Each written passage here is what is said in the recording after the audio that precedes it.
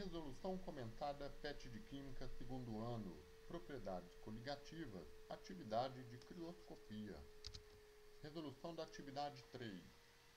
A solução aquosa bem diluída que possui menor temperatura de solidificação.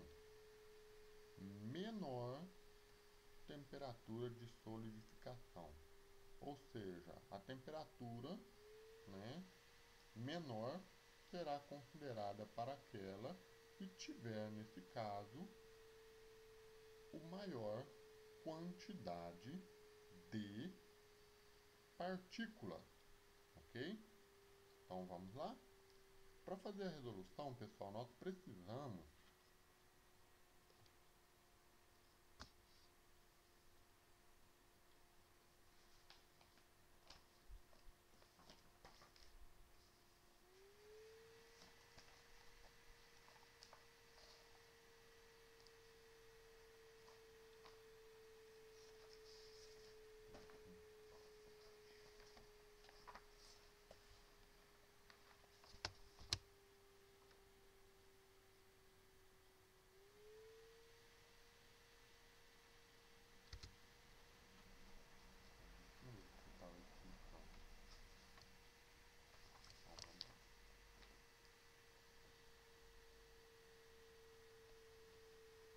Resolução comentada PET de Química segundo ano.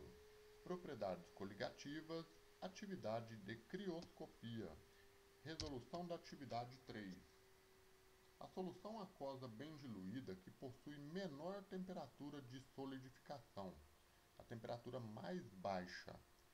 Se nós considerarmos o conceito de crioscopia aplicado a essa intenção, iremos perceber que para ter uma temperatura de solidificação mais baixa, devemos considerar o número de partículas presentes. Quanto maior o número de partículas presentes na solução, menor será a sua temperatura de solidificação. Então precisamos descobrir, conforme cada alternativa, quem tem maior número de partículas, correto? Então esse é o ponto-chave da resolução. Na letra A, o que, que nós temos? NaCl 0,01 m, ou simplesmente mol por litro. Considerando que nós temos cloreto de sódio que ele foi adicionado em água para formar tal solução, precisamos verificar se ele é um soluto iônico ou um soluto molecular. Nesse caso, o cloreto de sódio é um soluto iônico. Por quê? Porque quando adicionamos ele em água, a formação de cátion e a formação de ânion. Então, o que, que nós temos? Na mais Cl-. Ao iniciar a dissolução, tínhamos 0,01 mol de matéria de NaCl. Ao adicionar em água, esse NaCl se ionizou, né? dissociou nesse caso, separando-se em cátion e ânion. Então teria 0,01 mol de cátion mais 0,01 mol de Cl-. Qual a quantidade de partículas total? 0,02 mol. Ok? No caso, vamos realizar a letra D que se encontra ao lado, por se tratar do mesmo tipo de substância, NaCl. Bom, NaCl 0,1 mol por litro. O NaCl sendo adicionado à água, promove-se a dissociação, formando cátion e ânion.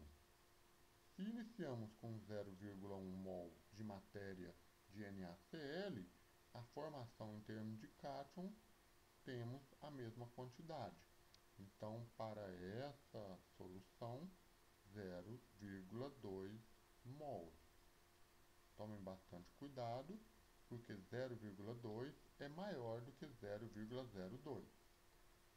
Na letra B, o que, que nós temos? MgCl2, 0,01 mol por litro, adicionado em água. Promove-se a formação de cátion e ânion mas ao mesmo tempo precisamos tomar cuidado. Formação do cátion Mg2+, partindo da quantidade de 0,01 mol de MgCl2, eu tenho a mesma quantidade para cátion. Já para Cl-, precisamos tomar cuidado porque nós temos dois cloros na fórmula do composto. Então, eu tenho a formação de 2 Cl-, 2 ânions. Então, eu irei dobrar a quantidade de partículas da base. Então, eu tenho 2 vezes 0,01, 0,02. Qual a quantidade de partículas nos produtos? 0,03 mol.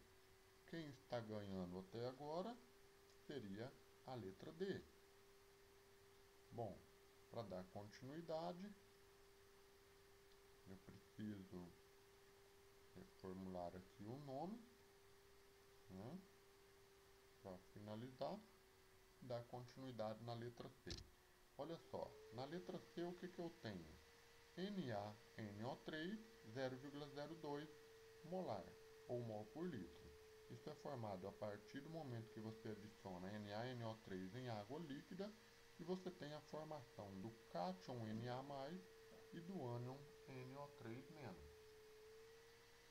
Bom, considerando que nós temos 0,02 mol de NaNO3 e as partículas formadas foram 0,02 mol de Na, na quantidade 1, e 0,02 mol de NaNO3. Qual a quantidade total de partículas na solução? 0,04 mol. Ok? Para finalizarmos, temos a letra E. A letra E, nós temos aqui um soluto molecular, que no caso é a sacarose. A sacarose, quando adicionada em água, ela promove-se a partir da dissolução, e somente a dissolução. Então, do mesma quantidade de sacarose que eu tenho aqui, que iniciou a formação da solução, é o tanto que eu vou encontrar na solução. 0,01, 0,01. Então, qual a alternativa correta que representa a maior quantidade de partículas? Nós temos, no nosso caso, a letra D.